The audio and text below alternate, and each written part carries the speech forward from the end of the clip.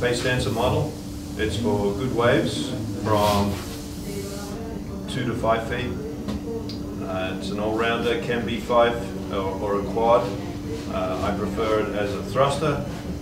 Uh, it has a single concave to a little bit of V at the tail. It's a rounded pin and it has pretty strong rocker so it fits in the pocket.